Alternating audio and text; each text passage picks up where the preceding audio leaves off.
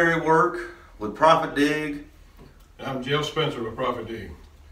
So Jeff, let's talk about some of the things that a new construction company owner should consider uh, when bidding on a job. Well, there's a lot of things to consider. You know, we're going to go over just a few things, you know, that uh, kind of get everybody's mind in the, in the same path, you know, and, and things that uh, are important to me, you know, to, to utilize uh, my business and make sure that I'm looking out for the best interest of it and, and making sure it's a profitable business. All right. Uh, one thing that I would always, you know, check first and foremost is to make sure that you are bidding on a project that you have the resources and the means to complete. And what I mean by that is, uh, if you are awarded this project, you're going to fund it. You know, your portion of the work, You want to buy materials, you want to do payroll and insurance, so on and so forth, you know. So make sure that you're not overstepping your boundaries to where that you don't have enough capital on hand that you can uh, provide this job with the materials and resources needed. So if you only have eighty-two dollars in the bank, you you should not. probably better look, uh, start off a lot smaller, know. All right.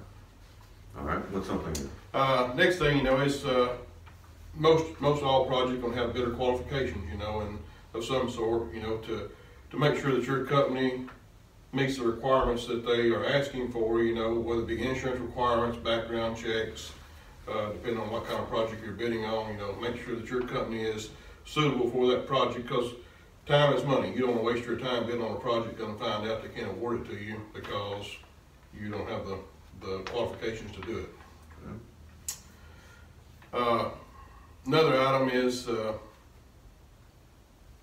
well, it's like we talked about, you know, is make sure you have the right resources and, uh, there's always gonna be a, uh, deadline on a project. And, uh, and also a, a, a time to start. Right.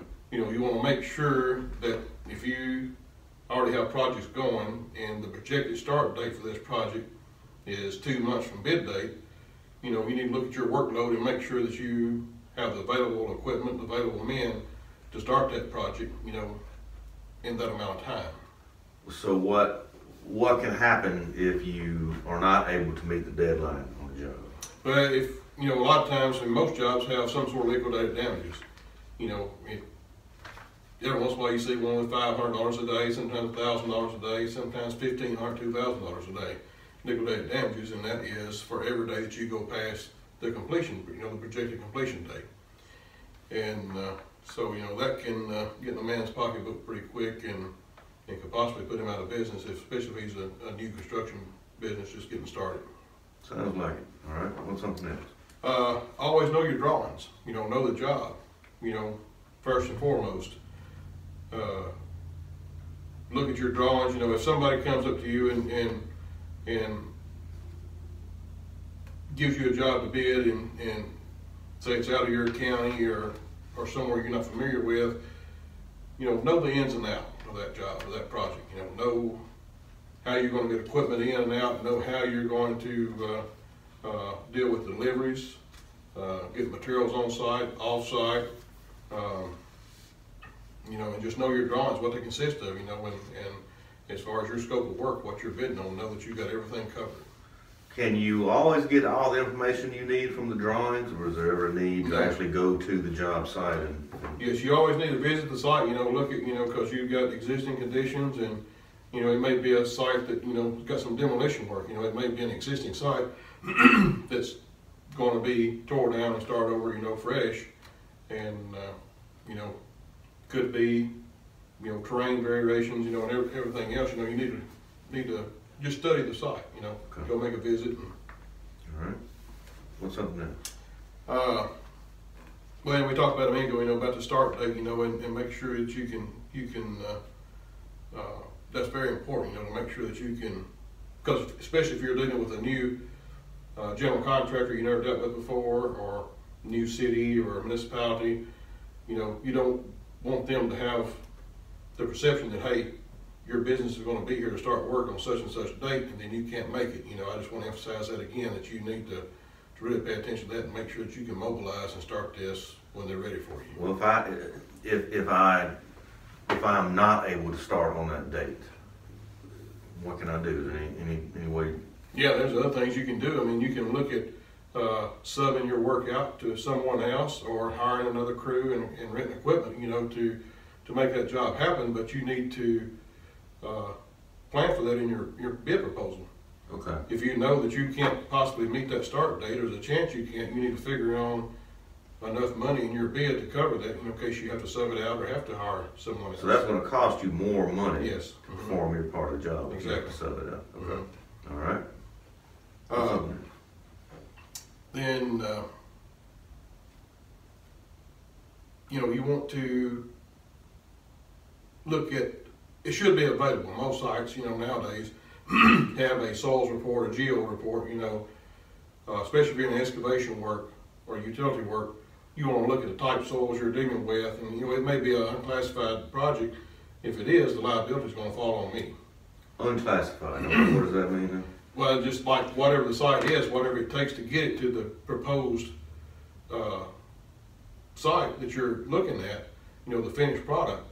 If you got rock, or if you got bad soils, you've gotta undercut, ship out, and then you gotta haul good material in to make it work, then, you know, you've gotta figure that in your price.